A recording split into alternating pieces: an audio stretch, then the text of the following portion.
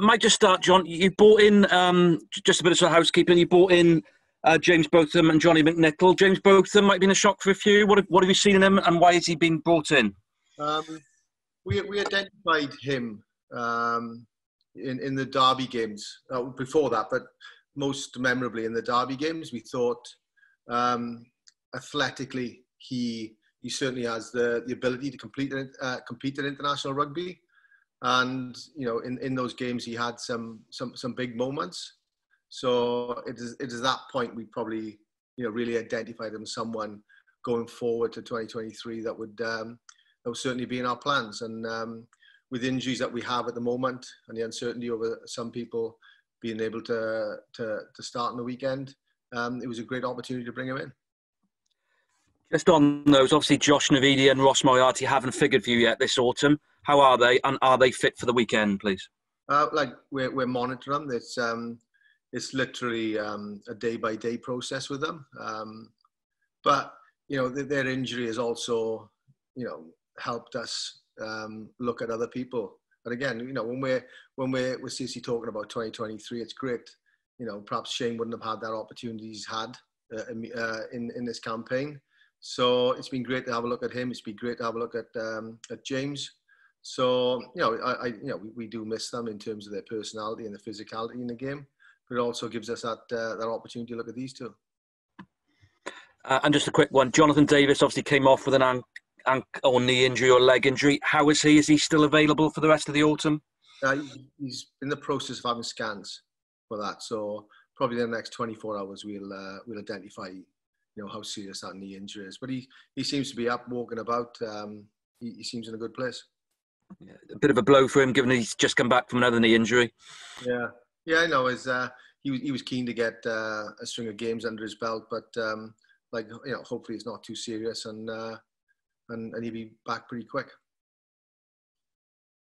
John, how would you assess the forwards during this campaign so far? Is it fair to say it hasn't gone all according to plan? Yeah, I think it's you know, it's it's it's frustrating in the um, in the inconsistencies in that first half, especially.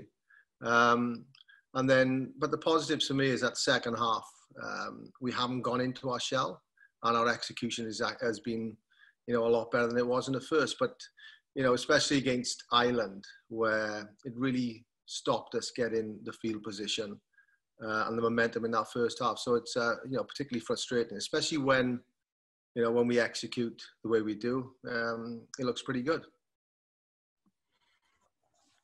What are you looking for improvements from this weekend against Georgia Pack, who are regarded perhaps as one of the finest packs in the world? Um, it's the consistency for for us, especially with uh, our line of attack. When we get ourselves in in in um, into positions where we can actually um, go forward, we need to execute under pressure.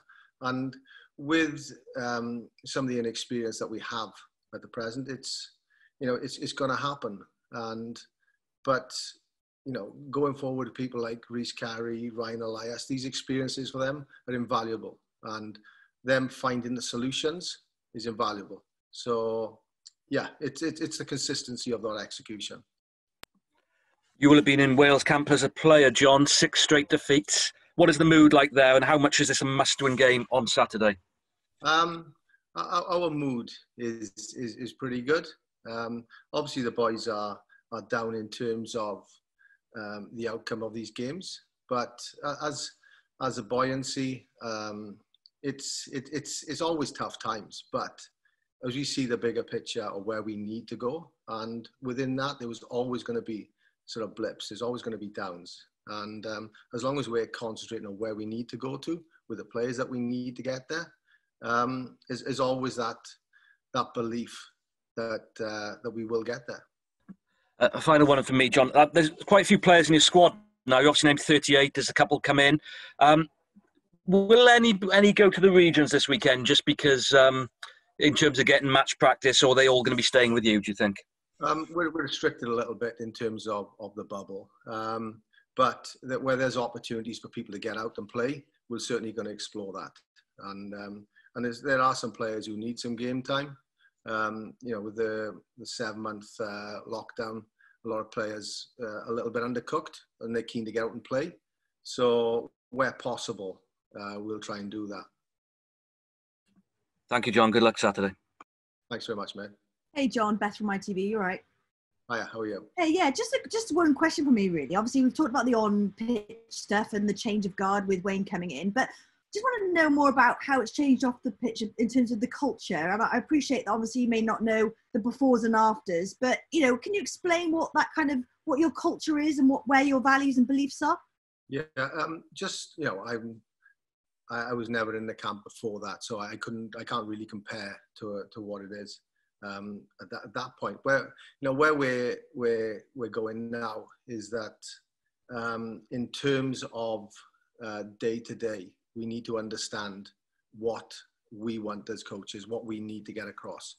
Um, but the, the, culture within it is very, very strong. Um, there's people in that who, who drive it hard.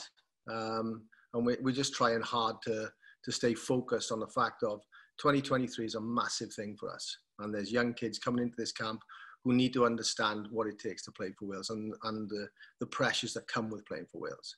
But how do we switch off? How do we relax? And, and that's the, the, the balance that we have right now. Do you think some of the players are struggling with the change of culture? Um, I, I don't think so. Not in the way they are around the camp. There's still a lot of buoyancy. And again, you know, we've had maybe seven games together. So it's still a, a, a huge amount of learning for all of us to, to go through. But, you know, as, as, as a group of coaches, we, we, we, under, we know where we want to get to. We know what it's going to take. And we're trying to fast forward some experience with some of the younger players that we've identified. And um, there's no fast forward button that we can have for that. So, and, and in these times, um, and also, I know it's hard to say, but they're, they're some of the most enjoyable times because we're, we're trying to find a way out. Um, and we're trying to find the clarity in order for these players to understand that, to go forward. And, uh, and we feel we're doing that sorry, very, very is the last question on, on that note. As you as coming from, you know, with Wayne as well, coming from that club environment, is there anything as coaches you've had to swap around in terms of what you feel works better and doesn't?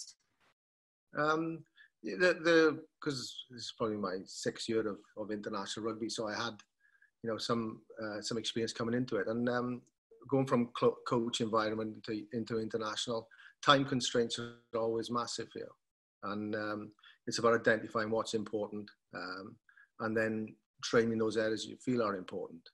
Um, so no, I think it's, it's, it's been good. I think um, the way we're working together is very, very positive. So yeah, good. Cheers. Thank you. Thanks.